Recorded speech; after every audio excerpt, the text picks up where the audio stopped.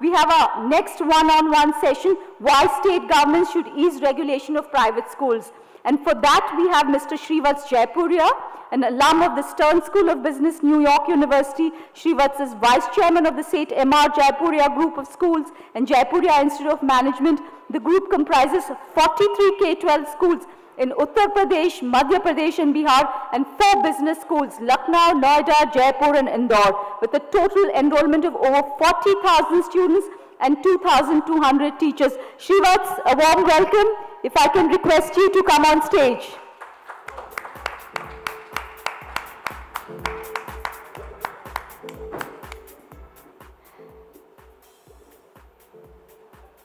Thanks, uh, Shreevats. So my first question to you is, uh, you know, across the country, all in all states, there are these flurry of fees regulations, especially during the pandemic, which have again continued. Their, there are regulations on admissions, their regulation on just about everything.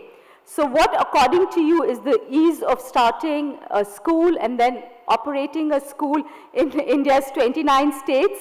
And the follow-up question to that would be, why do you think so state governments should ease these regulations? Th thank you very much. Thank you for having me here. So I think, uh, fortunately or unfortunately, it's a fragmented picture depending on uh, what state you're operating in. Uh, with us, uh, from my own personal experience operating in UP, also seeing regulation in, in Haryana, some of the states down south such as Andhra and Telangana, uh, it's not all doom and gloom that we see sitting here in Delhi. I think uh, not only are there models of regulation that help schools to flourish, but also protect parents in a meaningful manner against arbitrary fee increases. Uh, but there are governments today in India that understand that Indian education cannot survive without private schools flourishing. Today we are in an ecosystem of any large country uh, there's no large country which has a higher percentage of uh, students in private schools. Yeah, it's 48% almost. 48% yeah. in private schools, which is growing, and another 10 or 12% in uh, aided private schools. Mm. So 48% is in unaided. And this percentage is growing year on year. We only spend, uh, uh the government only spends 3% of GDP on education. And uh, it's not likely that the government is ever going to be able to cater to the needs of the students on its own. So it's about making governments understand the crucial role that as private schools uh, play in the education of the country. And on average, uh, they do it in a more cost-effective manner. You'll be surprised to know. The average spend per child uh, is better at private schools than government schools, is lower at private schools than government schools.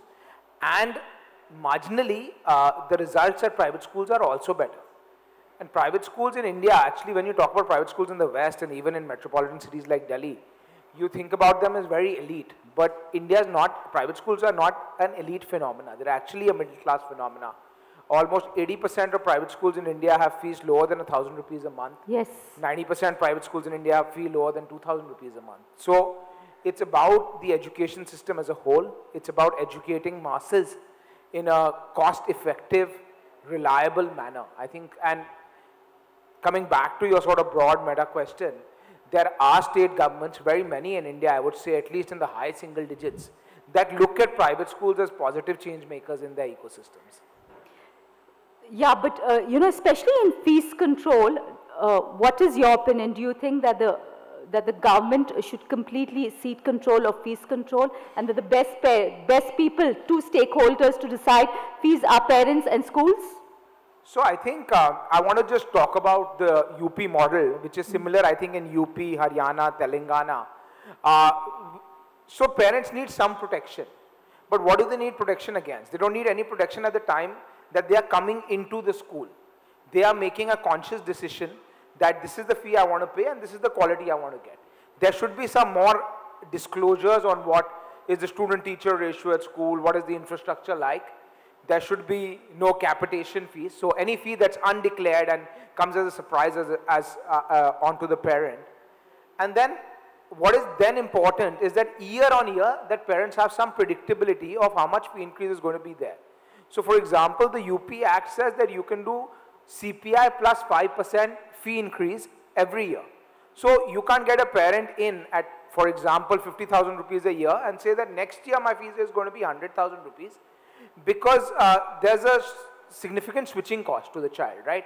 So you can't say that the, the contract, the multi-year contract between me and the parent is absolutely free because it's very hard for the parent to take the ch uh, child out of your school, put him in another school. So the UP Act actually says that you can have, and I think Maharashtra is similar. There are very many states. There's not one state uh, where they say you can set whatever fee you want, but the fee increase year on year. There is some regulation, and that's also reasonable. CPI plus five, with the stipulation that teacher uh, salaries also have to go up by that same percentage, and you can have new students coming in even at higher fees in the same classes because you are making a fresh contract. So if a student is going from class 2 to 3, then I can only do CPI plus 5 for that student. But if a new student is coming in class 3 next year, I can actually charge them higher fee sitting in the same classroom. So I think it's very forward looking. Uh, it looks, it sort of takes care of the parent as well as uh, makes the school, uh, incentivizes the school to do well. So you're saying that UP and Haryana have, you know, somewhat formulated model uh, fees acts. Is that what you're saying? Which yes, you would recommend to other state governments? Absolutely. I think there are various organizations that are already doing that, uh, that we are working with uh, in order to, you know, sort of say that this is an effective fee act. And fundamentally, I think uh, the difficult job that all of us as educators have is to change public opinion about schools. Uh, to make people and parents to bring them on our side and say that, listen, we want schools to do well, we want schools to flourish, we want schools to have the money that uh, they require in order to innovate, to pay teachers better.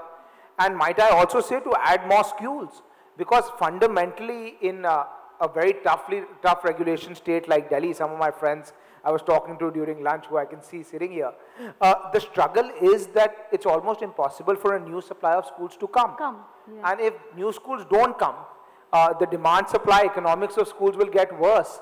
And the person who lose out the most as uh, you know supply doesn't increase is going to be the parents of tomorrow. Yeah, so that was my next question. You preempted it. You know, what about the supply of new schools? I mean, these uh, maze of regulations are going to discourage and dry up private investment in education like the state we come from, Karnataka, where uh, Education World editorial headquarters is based, and the flurry of litigations if, uh, you know, educators such as yourself and others are wasting their time in courts litigating who's going to educate our children. Absolutely, I can't. it's hard for me to sort of build on your uh, sort of question and answer. I agree with you fully. I think uh, it's a lot of good hours wasted if educators are spending those hours in court. Uh, and fundamentally, as uh, educators uh, who have a pan-India presence, they will have a choice uh, of where to open schools. And, school, and states that regulate schools, I would not say less, but in a more fair and equitable manner, uh, are likely to get more investment, likely to create a greater supply of schools, and in the long run benefit their parent the most. Even if you look at Delhi, for example, uh, due to the various circumstances even before, you know, uh, one government or the other was in power, you can see that the most of the new supply of schools is coming in outside Delhi in the NCR region. So whether it's Noida, Ghaziabad, yeah. Gurgaon, etc. So uh, I think just as, uh, you know, you can see state governments today uh, sort of fighting to get industry. You know, you saw that sort of feud between Maharashtra and Gujarat about who's getting investment. I hope for a day that, you know, that scale of, uh, that state government should be saying proudly because we have good regulation, we have 200 more or 500 more or 1000 more or 10,000 more private schools opening. So I think it's a narrative that requires change. Uh, of course, there are, there may be a few bad apples, that you know have caused the image of private schools to uh, you know go down in the media but uh, largely I would say very largely 99% of private schools in India serve a public purpose uh, serve to educate students in a way that's better than government schools on an average in a cost effective manner and serve and serve different segments of society, society. whereas uh, government schools have to paint everybody with the same brush you mm. want uh, you know different segments of society being served private schools act as laboratories for innovation, which can't happen in large-scale government schools. Yes. So I think uh, the importance of private schools largely, even in the political and bureaucratic classes of India, is not lost. A lot of them went to private schools themselves. I know there I mean, the largely the middle class is, I mean, everyone sitting here is educated in a private school. I mean, we wouldn't have India's, you know, flourishing middle class if we didn't have private schools. Shivats, my last question to you is before we take some questions from the floor is, I want you to give me a, you know, three-point wish list. I mean, we know, we just spoke about it, the license permit quota, Raj, has, you know, kind of migrated from industry now into education. So what would be your three-point wish list uh, at a policy level to deregulate uh, Indian K-12 education? So I think uh, the biggest trouble we are having is around fees. So I would say regulate fee increase and that also liberally. Do not regulate starting fees. Do not regulate fee as an absolute. Uh, so especially for old parents, some fee increase can be regulated. And uh, secondly, look at outcomes. And again, this is sort of a five to seven year wish list rather than inputs. Even if you look at CBSE affiliations and so on, I think we over-regulate on inputs. You should have so much land, so much uh, class size, uh, so many computers. And we under-regulate or are under-transparent on outputs. So we know that both in the public and the private school system, we struggle with learning outcomes. Of course, you know, the people sitting in this room might be from the 1% exceptional schools, but in general, less than 50% of our five class grade fivers can read class 2 text, can do class 2 math. You know, we've all read the stats. So, uh, you know, the NEP sort of spoke about this.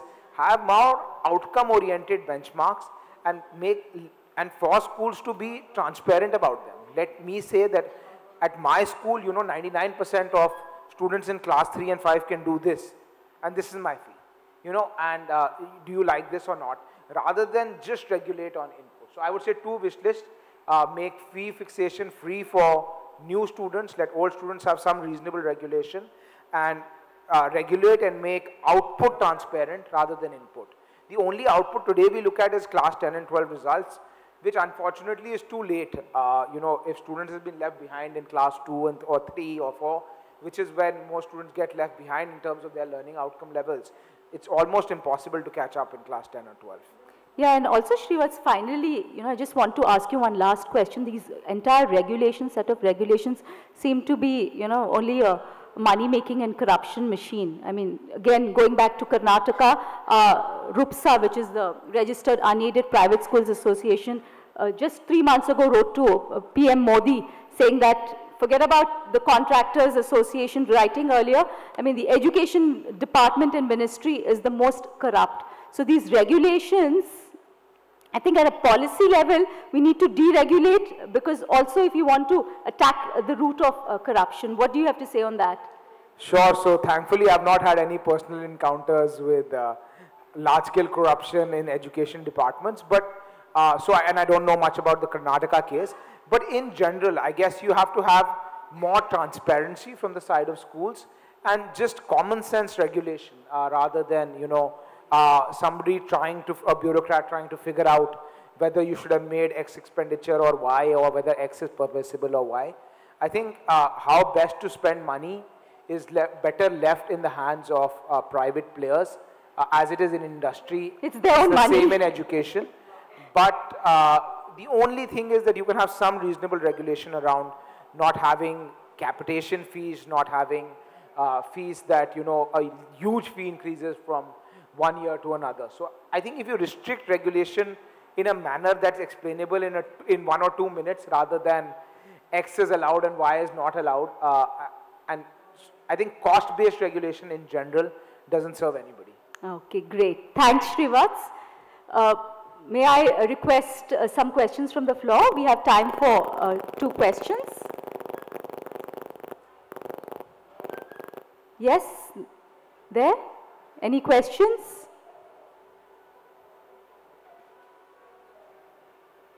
Wow, everyone agrees with what we've just said, uh. Are you sure there are no questions? Any questions from the floor?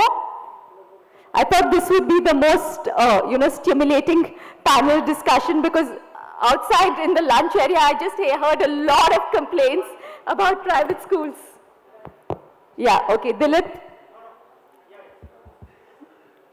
Yes, sir, please. Yeah. Yeah. I'm, uh, Please introduce yourself. Yeah, I'm Shekhar. I'm the executive director of uh, Venkat International Public School in Bangalore. See, uh, I think uh, uh, in the next 10 to 15 years, the biggest challenge, you know, as far as I am concerned, would be finding good and skilled teachers. So, as a part of a huge group, what do you think, you know, would be the solution, you know, to get a, a skilled group of teachers, you know, to empower schools? Thank you.